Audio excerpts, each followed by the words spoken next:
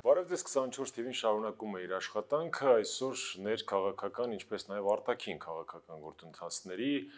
սահմանային իրավիճակի մասին ենք նաև զրուցելու ազգային ժողովրդավարական բևեռի խորհրդի անդամ Վարուժան Ավետիսյանի հետ, ում եւ սիրով ողջունում ենք, բարև ձեզ։ Շնորհակալ եմ։ Բարև ձեզ, շնորհակալ եմ հրավերի հրավերի համար։ Մեկնարկել է 8-րդ գումարման ազգային ժողովի աշխատանքները,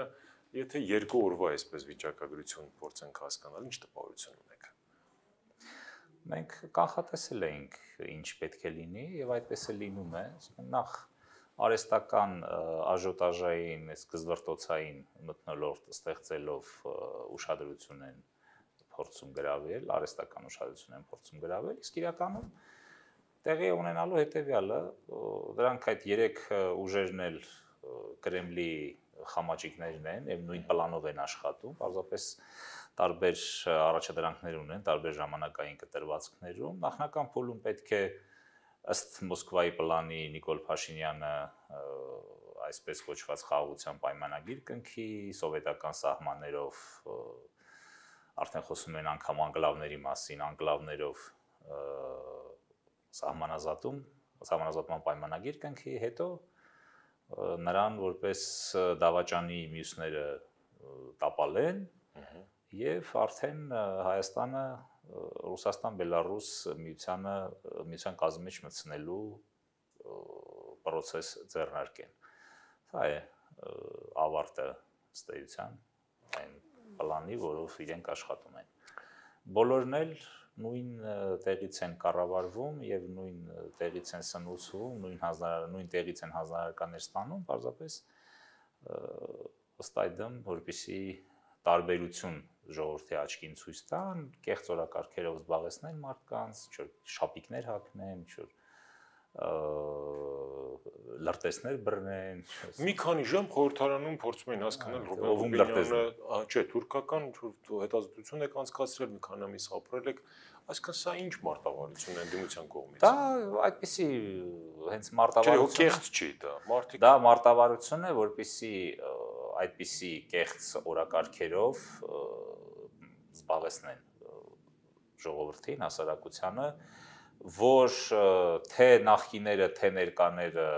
հիմնականում լրտեսներ են, ինձ համար երկրորդ կարծիք լինել չի կարող եւ հետաքրքիր է որ Ռուսաստանի լրտեսները բայց ըստ ձեզ ռուսական ոչ թե ոմանց ոմանց փորձում են մեղադրել թուրքական լրտես լինելու մեջ, այսինքն բոլորի համար ռուսական լրտես լինելը նորմալ է, բայց թուրքական լրտես լինելը վատ բան է։ Պարոն անշուշտ երկուսն էլ վատ բան է։ Ինչու լրտես։ Ռազմավարական դաշնակցի հետ համագործակցելը Ռազմավարական դաշնակիցը չի նշանակում քո գործերի ուղիղ կառավարիչ եւ քո պետության ամբողջ անցուդարձի տերն ու տիրականը։ Մենք ուղիղ կառավարվում ենք Կրեմլի։ Այո, մենք հիմա ուղիղ կառավարվում ենք Մոսկվայից։ Հիմա Փաշինյանը նախարարներ է նշանակել Պուտինի հետ, հա, ճշտել։ Հիմնական նախարարներին բնականաբար համաձայնեցվում է, համաձայնեցնում են։ Եվ միշտ է։ Լուրջ իսկապես։ Այո, միշտ պաշտպանության նախարարին օրինակ համաձայնեցնում են, արտգործ նախարարին համաձայնեցնում են, ԱԱԾ-ի ղեկավարին համաձայնեցնում են, այդպես է, միշտ այդպես է եղել եւ հիմա էլ առավել եւս այդպես է։ Փաշինյանի օրոք Ռուսաստանի միջամտությունը մեր երկրի ներքին գործերին եւ ընդհանրապես մեր պետական կառավարմանը շատ ավելի խորացել է, քան էր նախորդների օրոք։ Եվ Ռուսաստանը մեր ռազմավարական դաշնակիցը չէ, Ռուսաստանը մեր ռազմավարական հակառակորդն է։ Ռուսաստանը այնպիսի առանձնահատուկ հակառակորդը, որ մեզ ստիպել է, որ հակառակորդնելով հանդերձ մենք իրեն ճանաչենք, անվանենք պաշտոնապես որպես ռազմավարական դաշնակից։ Այ այ այդ աստիճան օկուպացրել է մեզ Ռուսաստանը։ Եթե նույնիսկ այդպես է, բոլորի այն բոլոր մեր պատմական մեղքերի ասենց հիմնական մեղավորը Ռուսաստանն է։ Ինչի ենք կներեք, եթե տենց լավ խոսք ունեն հрьяաները, если вы такие умные, почему вы такие бедные։ Ինչի ենք մենք ստիպվել, պարոն Ավետիսյան։ Մենք ճիշտ չի լինի, եթե համաձայն եմ ձեր ասացի համատեքստի հետ, ճիշտ չի լինի, որ մենք ասենք, որ օտարն է մեղավոր, մենք ընդհանրապես մեղավոր չենք։ Իհարկե, առաջին հերթին մենք ենք մեղավոր, բայց հիմա խոսում ենք վիճակի մասին։ Այս է վիճակը վերջին կներեք էլի հատկապես 200 իլերում են ձեր ասած եթե մարդն ուզում է բռնաբարվի ինչու՞ չբռնաբարել Ներողություն նորից էս կոպիտ համեմատության համար։ Համեմատությունը իհարկե շատ կոպիտ է եւ չի կարելի ժողովրդի նկատմամբ կիրառել։ Այնուամենայնիվ, եթե թարգմանենք դա ավելի պարկեշտ բառապաշարի, ասելով, որ ճնշվողին են ճնշում, թեկուզ այդպես, այո, մենք չենք կարողացել բավարար քաղաքական ազգին բնորոշ ներուժ գեներացնել եւ անպասանք հայլեր կատարել, որպեսզի անկախ պետություն ստեղծենք, բայց պետք է նկատի ունենանք, որ թուրքական մուրճի եւ ռուսական սալի մեջտեղում ենք եղել եւ շատ դաժան ժամանակներ ենք ապրել եւ հիմա էլ այդ ժամանակները դեռ իրենց այդ վերջին հանգրվանում են դրա համար պետք է իրավիճակներ նկատի ունենանք միևնույնն է մեզ չի կարելի արդարացնել մեզ որովհետեւ եթե քեզ արդարացնում ես դու քեզ զրկում ես հետագա պայքարի եւ ձգտումից եւ հնարավորություններից դրա համար չի կարելի այո մեզ չի կարելի արդարացնել, բայց այնուամենայնիվ հասկանանք թե ինչ իրավիճակում ենք եղել եւ այժմ էլ դեռ ենք։ Բայց Փարք Աստծո հիմա արդեն այնպիսի փոփոխություններ են կատարվում եւ աշխարհում եւ տարածաշրջանում, որ ամբողջությամբ բացվել է հնարավորությունը արևմուտքի հետ դաշնակցելով, արևմուտքի վրա հենվելով ռուս-թուրքական մահացու փակուղուց դուրս գալու համար։ Եվ մենք մեր քաղաքական ուժը, մեր քաղաքական համախմբումը հենց դրա ջատագովն ու դրոշակակիրն է, որ մենք պետք է հենվենք արևմուտքի վրա առաջնահերթորեն ստանալով Ամերիկայի Միացյալ Նահանգների Ֆրանսիայի աջակցությունը եւ դուրս գալ այս դարավոր փակուղուց, որ 1724 թվականից ստեղծան առ այսօր, որի մեջ մենք հայտնվել։ Պարոն Ավետիսյան, ուր է մեր կյանքում քաղաքական հասարակական Միացյալ Նահանգները, որին դուք այդքան, այսպես ասենք, ֆետի ֆետիշացնում եք։ Մենք չենք ֆետիշացնում, բայց հենց գաղութացվածության Արցախում չեն։ Գաղութացվածության խաղապահները։ Խաղաղաղութացվածության հիմնական հատկանիշն էլ դա է, որ գրեթե ամբողջ քաղաքական վերնախավը, գրեթե ամբողջ մեդիան, գրեթե ամբողջ քաղաքագիտական վերլուծական հանրությունը գիշեր-ցերեկ տարփողում է ռուսական գաղութատիրությունը։ Սա հենց Սա նաև հասարակական ընտրություն չէ։ Խորքային գաղութացվածության հետևանք է եւ դա պետք է ամեն գնով հաղթահարենք, եթե մենք ուզում ենք գոյություն ունենալ ընդհանրապես, եթե ուզում ենք գոյություն ունենալ, որովհետեւ վերջին փուլին ենք մտեցել, որ Ռուսաստանը եւ Թուրքիան եւ նրանց գործիք Ադրբեջանը արդեն ձեռնարկում են մեզ ամբողջությամբ կլանելու, մսխելու ռազմավարությունը դրա իրականացման մեջ են իրենք Այդ մենք չէինք ուզում, մեզ մսխում են, հա։ Ես արդեն այդ հարցին պատասխանեցի, որ մեղավորությունը հիմնական մեղավորությունը մերն է, եթե մենք հիմա քաղաքականապես կազմակերպված ազգ լինեինք եւ դավաճանների ու գործակալների փոխարեն ունենայինք քաղաքական էլիտա, ապա մենք վաղուց արդեն այդ հարցը լուծել էինք Առնվազն երբ Վրաստանը փոկվեց ռուսական տիրապետությունից, մենք եւս այդ ժամանակ կարող էինք միասնաբար փոկվել եւ այն փոքր աջակցությունը ոչ ոչ համարժեք աջակցությունը, որ արևմուտքից ստանում էր Վրաստանը այն པարս պատճառով, որ Վրաստանը ինքնին դեռևս որպես ամբողջություն չէր բավարարում արևմուտքի ռազմավարական շահերը այս տարածաշրջանում իրականացնելու համար, ապա Հայաստանի հետ միասին կստեղծվեր այն կամուրջը, որը կամբողջացներ այդ հնարավորությունը արևմուտքի եւ արևմուտքը 10 պատիկ ավելի մեծ ռեսուրսներ այստեղ կծախսեր։ Մենք չարեցինք դա, մենք մնացինք որպես շարունակեցինք մնալ որպես ռուսական գաղութ եւ երկարացրեցինք մեր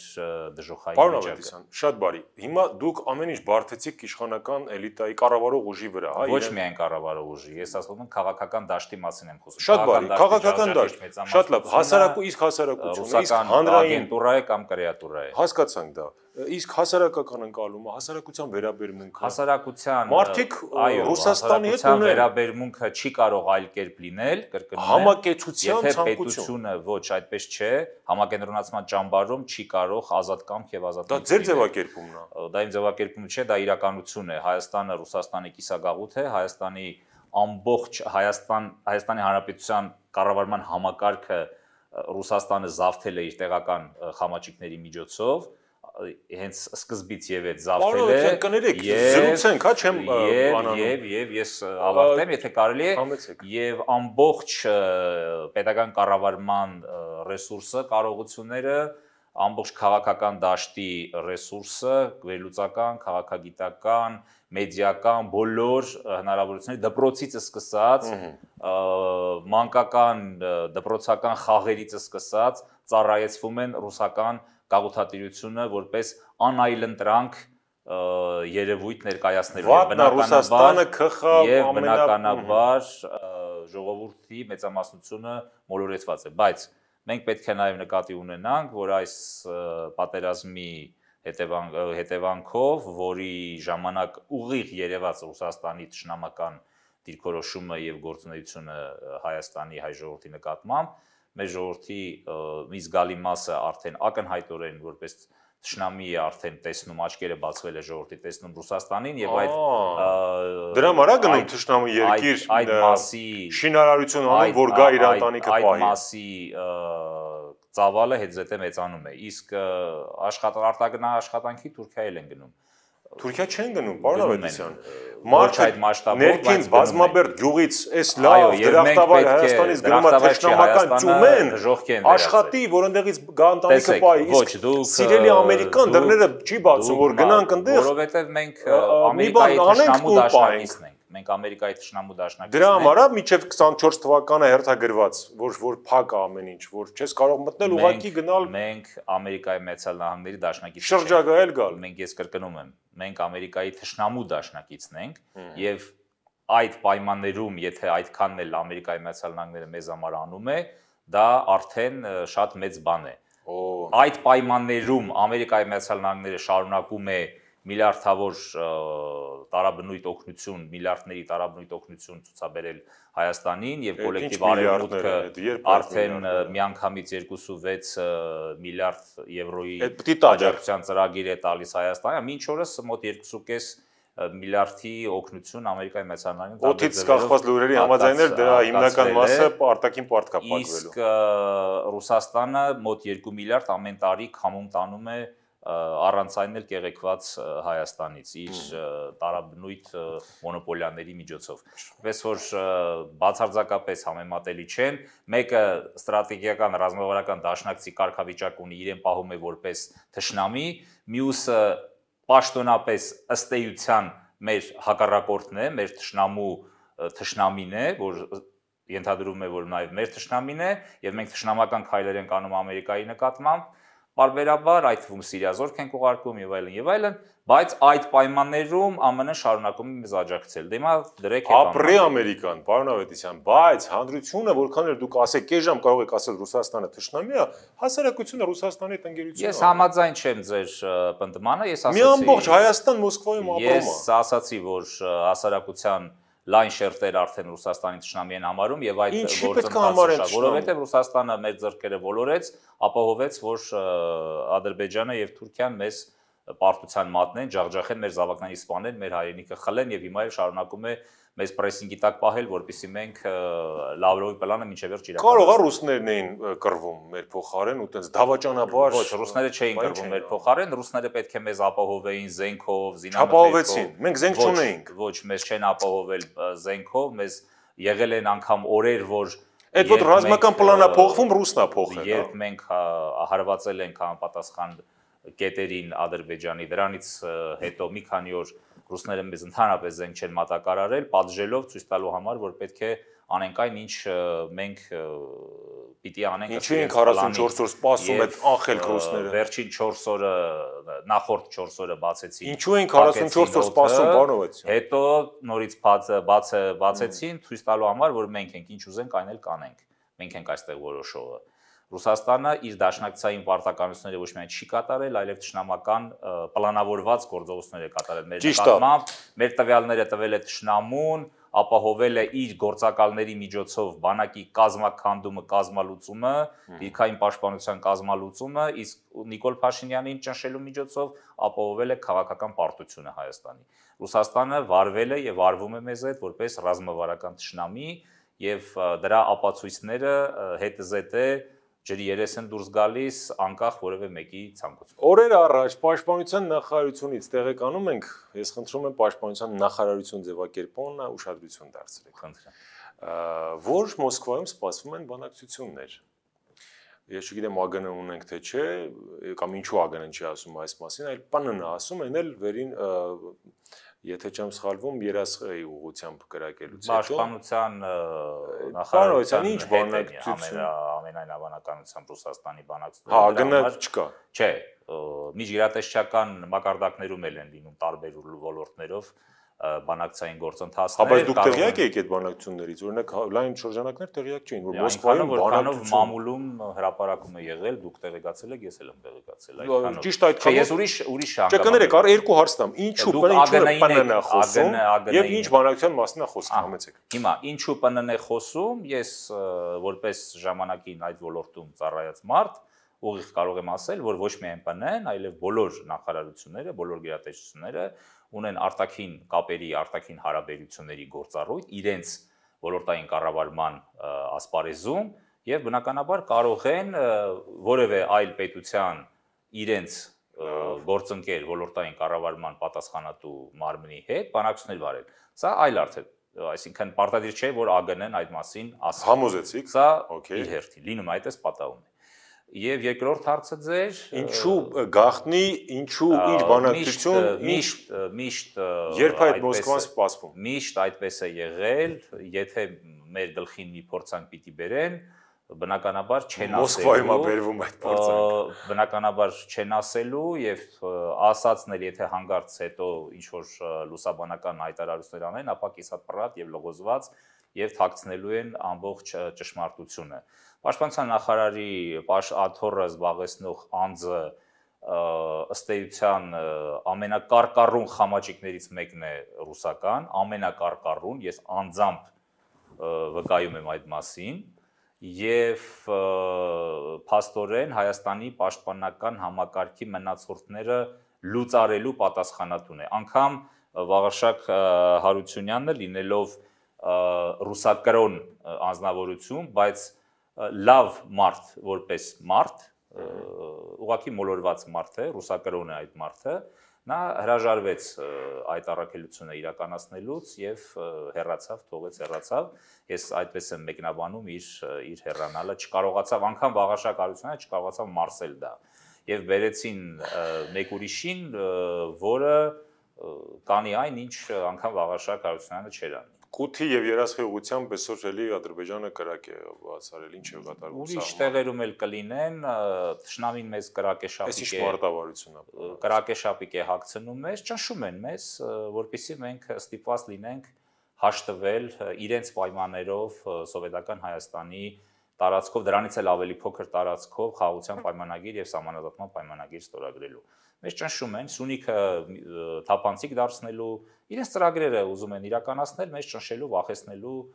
միջոցով ես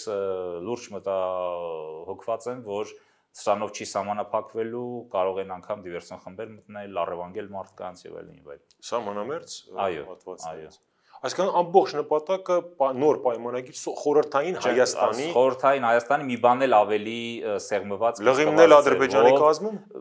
Արցախի մասին իրենք ասում են մոռացեք արդեն չկա։ Չէ, դե իրենց ասելով չի, բանը ռուսկանով իրենց ասելով չի։ Մենք խոսում ենք իրենց պլանի։ Չէ, Արայք Հարությունյան կա բան։ Դուք հարցնում եք իրենց պլան, ինչ են ուզում անել, չէ՞։ Դուք ասում եք խորհրդային Հայաստան։ Նրանք դա են ուզում անել։ Շատ լավ, իսկ Արցախը առանց խորհրդային Հայաստանը ընդ որում առանց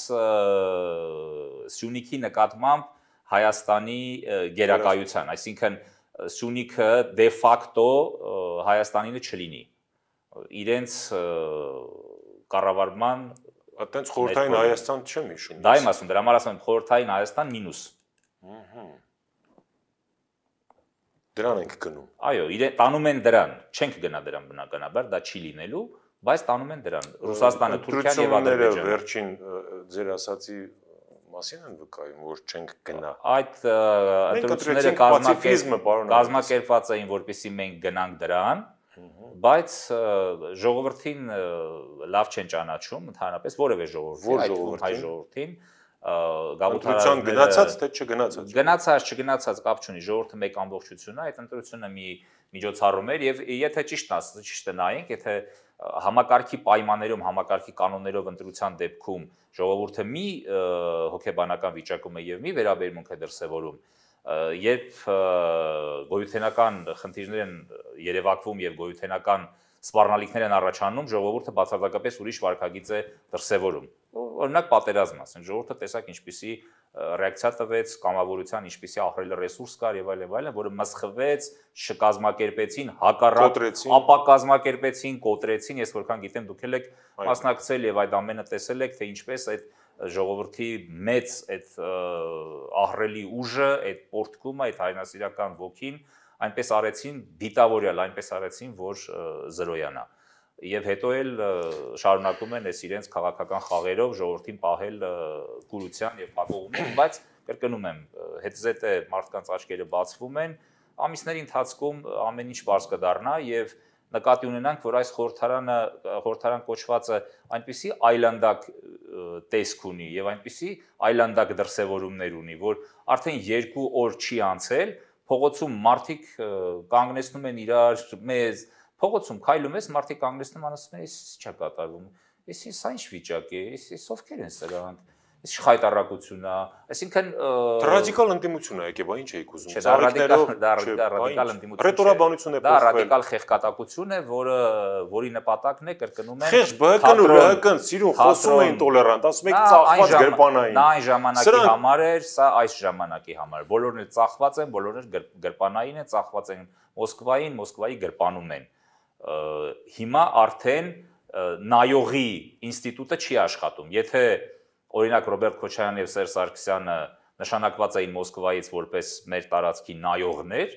ապա Նիկոլ Փաշինյանը նայող չէ։ Նիկոլ Փաշինյանը ընդամենը հլու հնազան նոտար է, որը պետք է նրանց դեմ տված պայմանագրերը դակի, ստորագրի, կնքի եւ ավերացնի։ Սա է Նիկոլ Փաշինյանի առաքելությունը։ Խորհրդարանում մենք տեսնում ենք այդ ուժերի, հա, Սերժ Սարգսյան, Ռոբերտ Քոչարյան, Նիկոլ Փաշինյան միջև ազդեցության պայքարի միջալից հետարքիր մարտավարություն է ընտրել իշխանությունը։ Լուր է, զուսպ է, հավասարակշռված է, չկա են հեղափոխական պորտկումը, մի տեսակ ընդդիմությունն է վրա տալիս, հա, եւ այս համատեքստում մեր երկրի արժեվ ծառացած օրհասական խնդիրները լուծում կստանան։ Առանց այս խորհրդարանը։ Թե այս խորհրդարանով տենց առանց այս խորհրդարանի ամիսներ անց լինելու են լուրջ զարգացումներ Կրեմլի թուլացման զուգահեռաբար այստեղ լինելու են լուրջ զարգացումներ այս խորհրդարանը երկար կյանք չունի այս իշխանությունը երկար կյանք չունի երկուսն էլ բացահայտվելու են ժողովրդի համար եւ տապալվելու են եւ ստեղծվելու է ազգային իշխանություն այն process-ը կարող է լինել փուլային, կարող է միանգամից լինել, ես հիմա դժվարանում եմ ասել, որ տարբերակով կգնանք, հնարավոր է ավելի հնարավոր է փուլային տարբերակը։ Այսինքն ինչ որ անցումային կառավարության մի ձև, մի տարբերակ, որի որը չի բավարարելու, չի կարողանալու բավարարել կյանքի պահանջները, եւ ստիպված եւս մեկ այդպիսի փուլ կանցնենք։ Մինչեւ տարեվերջ է սպասվում ձեր ասած զարգացումը։ Դժվար է ասել, հնարավոր է որ մինչեւ տարեվերջ այդ մասնակի հանգուցալուծումը լինի, հնարավոր է որ զարգացումները որոշ դանդաղեն եւ անցում կատարվի դեպի գարուն։ Դժվար է ասել բայց ներքաղաքական process-ներ են անպայման լինելու, որոնց արդյունքում խորհրդարանը խորհրդային այդ ռուսական ազդեցության տարածքում տեղի ունենալիք մեծ փոփոխությունների հետ։ Ահա, ես այլ հարց էի ուզում տալ։ Անջատվելու է ռուսական ազդեցությունից, Ուկրաինան ամբողջությամբ է անջատվելու։ Հիմա կիսատ կիսով չափ այդ ազդեցության տակ է եւ Ռուսաստանը այստեղից էլ հեռանալու է մեծ կենտրոնական Ասիայում Թուրքիայի հետ մրցակցային դինամիզմ պետք է ապահովի Չինաստանի ծավալումը զսպելու նպատակով։ Սա է լինելու իրենց այն միակ հնարավորությունը, միակ ասպարեզը գործնական սպեկտրի հատվածը, որը իրենք կարող են փակել։ Ուրիշ առաքելություն Ռուսաստանը չի կարող ունենալ, եթե չհամաձայնվի այդ իր արչև ծառացող այդ տարբերակին, ապա Ռուսաստանը փլուզվի։ Մի բան չհասկացա, թե Ռուսաստանին հլու հրանզան գրպանում գտնվող խորհրդարանը ինչու պետք է լուծարվի կամ փոխվի այս խորհուրդը։ Ժողովուրդը ոդկի կանգնի եւ Փաշինյանն էլ ըստ ձեզ ի տարբերություն Ռոբերտ Քոչարյանի եւ Սերժ Սարգսյանի հəլու հնազանդ ամեն ինչ անում է։ Ինչ պետքա փոխվի։ Դե ես ասացի, որ Կրեմլը կթուլանա եւ այստեղ ժողովուրդը ոդկի կանգնի ու կքշի։ Բարձ։ Շնորհակալություն հարցազրույցի համար։ Ազգային ժողովրդավարական բևեռի խորհրդի անդամ Վարուժան Ավետիսյանն էր 24-ի հյուրն այսօր խնդրու առարկան Հայաստանի ներսում եւ դրսում եւ Հայաստանի շուրջ մեր տարածաշրջանում աշխարհակաղակական համատեքստում տեղի ունեցող զարգացումներն էին։ Շնորհակալություն ուշադրության համար։